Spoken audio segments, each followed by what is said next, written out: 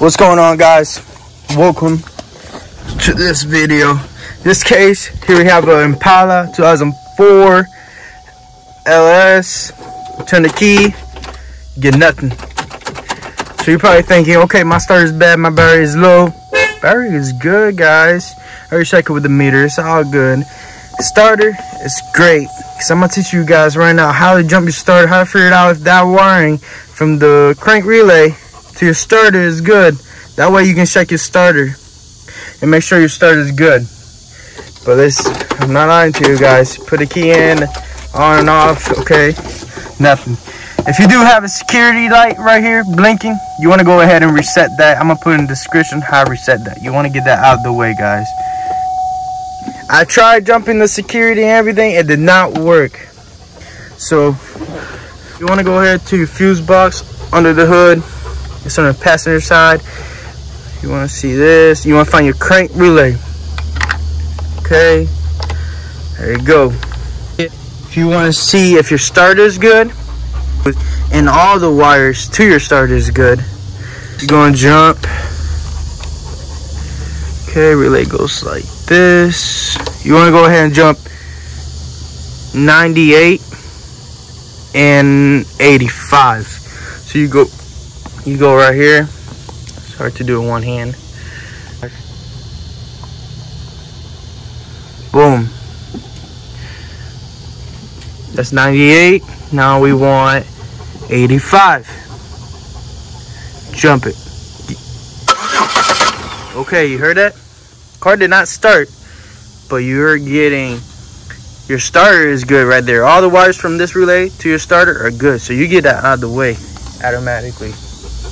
Now, what you want to go ahead and do, get uh, a test light and check that you're getting positive from the computer, another positive that's coming from my battery, a negative that's ground. When I put the key on start position, I get another negative, which is my signal.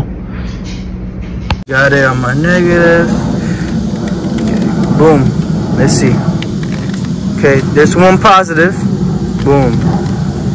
This one. That's not. There's no power there. These two are gonna be grounds. How do I know it's ground? Okay, I'm gonna go ahead and place my this side of the meter on my positive. Okay, there you go. Boom. You see? Now I have power. This one right here, this one right there, this is gonna be my signal wire for my switch, and it throws a positive.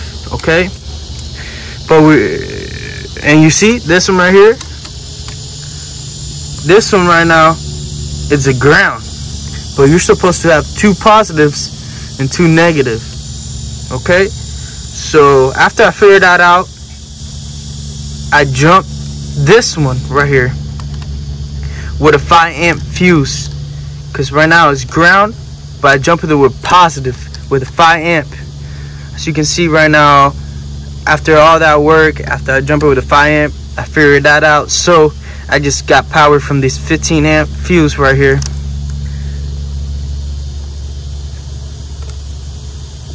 Fifteen amp fuse right there, and I'm gonna show you guys how it works. That's pin 98. What I'm gonna do, I'm gonna put that positive lead on 98. Boom, put it in there. You heard it? Let's see. Okay. So I'm gonna check again. I'm gonna show you guys. I'm putting positive. See that? Oh, okay. Hopefully you guys saw that. It's positive I'm throwing in there. Supposed to bring a positive and a positive back to the computer to recognize that system starting. Or not, it just cuts power. So let's go to the key switch right now. And let's see. Boom, off on. Crank right up, guys. There you go. There you go. D Everything works. Code AC. There you go. Something's going on with the security in this car. I'm not getting a light. I'm not getting a light right here, right? But something's still going on with the security. How do I know that? Because when I go on my on my scanner and I go life data, this is lockout timer. So Okay, as you guys can see, the car is on off. I'm the key in, on, off, boom. That's it. Okay guys, so I had to go find another fuse that when the switch was in on position, there's positive. When the switch was off, the car was off, there's nothing. And so I checked under the hood and there was nothing. So I had to go to the driver's side fuse panel and find one. I found the PCM and BCM power control module and body control module fuse. That's what powers them up. And when my switch is on, there's power. When it was off, there was no power. And this is just a 10 amp fuse and it was working great the wire doesn't heat up or anything like that you don't need to use a big wire I ran that to pin 98 from that panel all the way over there to pin 98 and it's working great guys. Hopefully this works out for you guys. Let me know down in the comments. This video is mostly for the people that have checked their security systems. They have checked all the fuses and they have done and checked all the powers at the crank relay just like I have. All my fuses were good. Security, I didn't find anything wrong with this set when I got in it with my think pad. But all the fuses were good and it didn't make no sense. I didn't have any codes and the car wasn't starting. So this is for them people.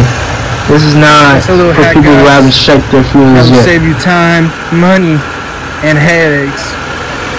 Hopefully that works out for you guys. Let me know in the comments.